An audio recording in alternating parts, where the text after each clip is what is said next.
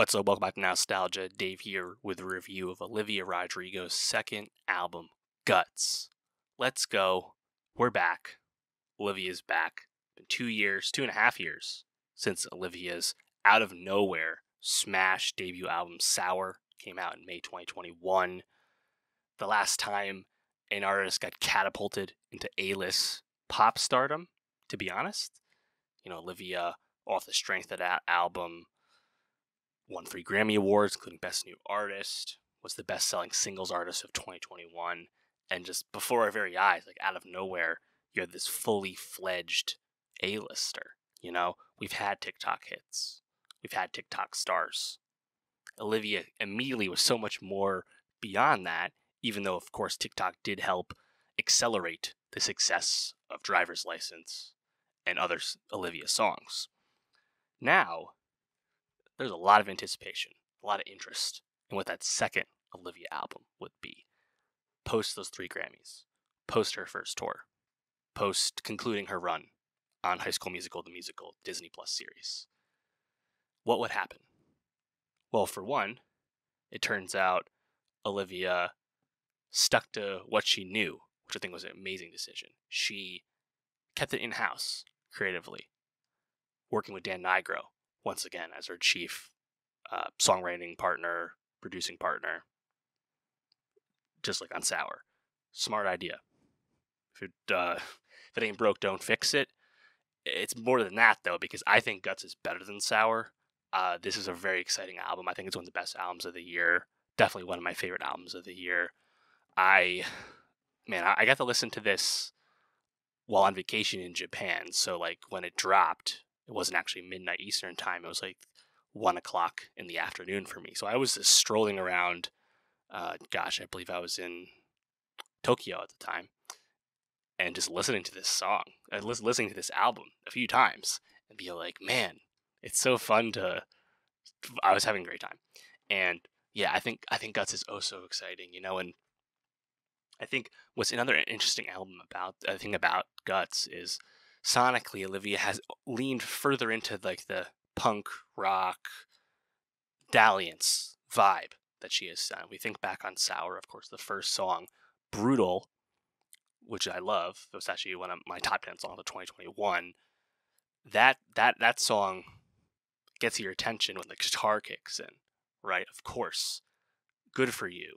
The smash song that it, that it is clearly invokes Paramore's Misery Business. Olivia was dabbling in this rock adjacent singer songwriter pop music. I think that's a key aspect of her brand, right? Because she's a strong songwriter who can give you a ballad, an emotional ballad, a well written and intriguing, engaging ballad, because she's a very strong writer. And she mixes that with her bigger songs that lean more into this rockish vibe. And that's basically what we get on Guts once again, except I think it's actually more rock leaning this time. And to me, that's a great idea. It was a great choice because it just actually gives you more bangers. I think there's more bangers on Guts, despite the fact that there's still a ton of, of ballads on Guts. There's a ton of, I think, really meaningful songwriting and uh, ear grabbing lines and messages on Guts. But yet, it's also still a bigger record. And that's despite the fact that it's you know, relatively brief. It's a normal length for an album. It's 12 songs, 39 minutes. I saw, I mean, I remember in the lead up to this album, people thought that was somehow short and a sign of Olivia full the TikTok, which I think is completely off base. 40 minutes for an album is completely normal.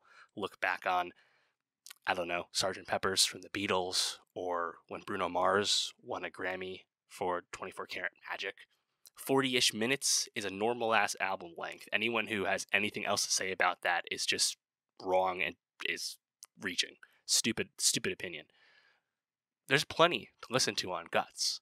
I think there's very few bad songs. If anything, the songs I like the least on Guts are just some of the ballady stuff, you know, just because they're naturally slower tracks, not necessarily the most uh, engaging thing to me, uh, or I guess less engaging than some of the bigger songs. But man, the stuff that hits on Guts really hits, and that's what just makes it so exciting, you know. And one other thing about the lead to this this album, you know, obviously, Olivia kind of got raked over the coals by Taylor Swift. We can say it.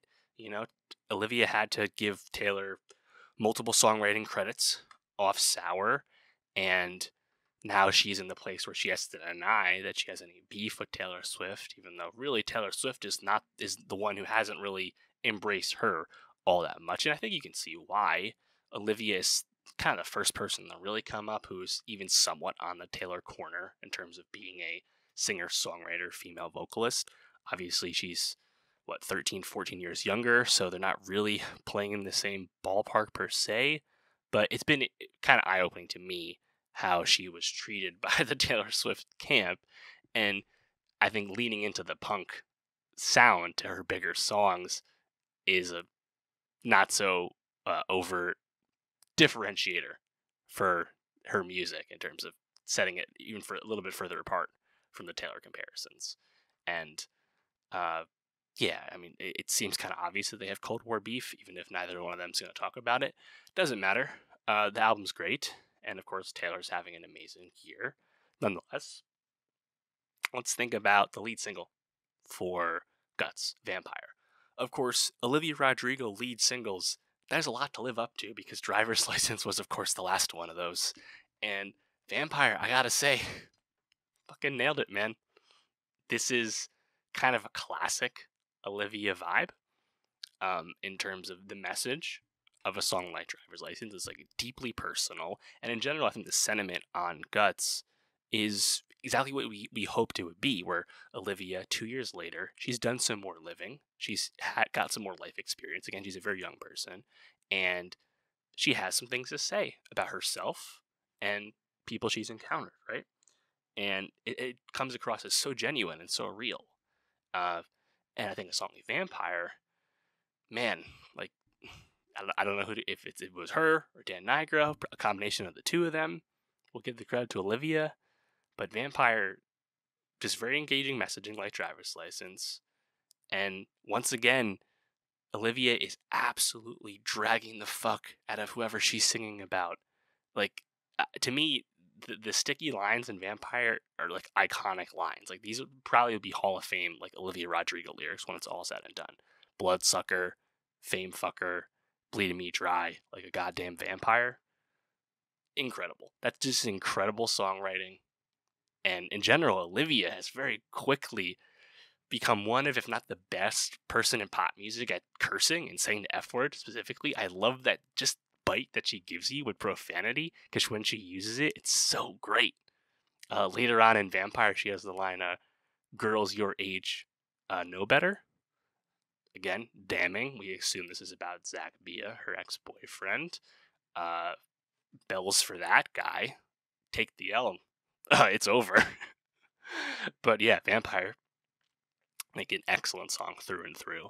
Track uh, the second single would be Bad Idea Right, which definitely different vibe, right? This is uh, very very chanty, energetic, up tempo track, and you know I think the song's okay.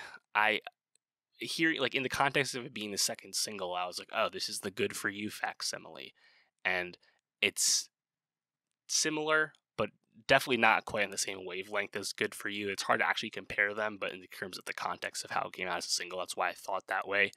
And I find the song it's just less successful than Vampire, less successful than Good for You for sure. It's okay. I was a bit worried that if that would be like the extent of the punkish nature on songs like Guts, I'd be like, oh, this might not be enough for me this time around. But I was quite thankful that when I actually heard the album and heard the non singles, that there was more bite on some other tracks. So I'm not really going to be going back to Bad Idea, right? All that much, but it, it's okay. Um, so yeah, let's get into the actual meat of the album here.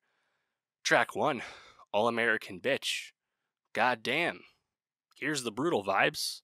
Uh, you have this acoustic, like soft singing building up, and then the tempo immediately speeds up, the drum kicks in, and the Avril Lavigne comparisons are back. It's amazing. You know, I mean, I love Olivia's screech at the end, um, but just I think the the juxtaposition of the hook and the chorus with the uptempo drums and the guitar like really jamming, and then you have the verses where it slows down a little bit and you know, I think Olivia just kind of rides that instrumentation, rides that production, some really fun verses. The energy on this song is awesome, really great. Uh, just one of my favorite Olivia Rodrigo songs, straight up, I have to say.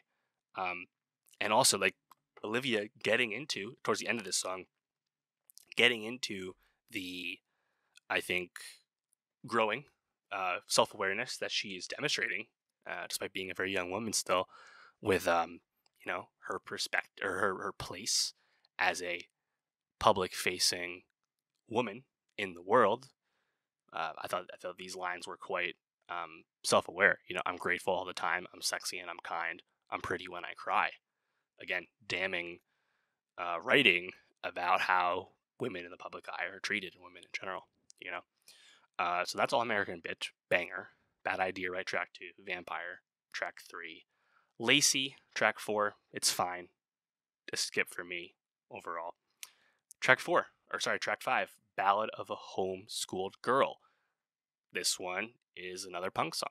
You know, it's up tempo. I think the, the the social suicide hook very sticky. The second verse kind of giving you a deadpan delivery in a certain sense from Olivia vocally. Like this song a lot.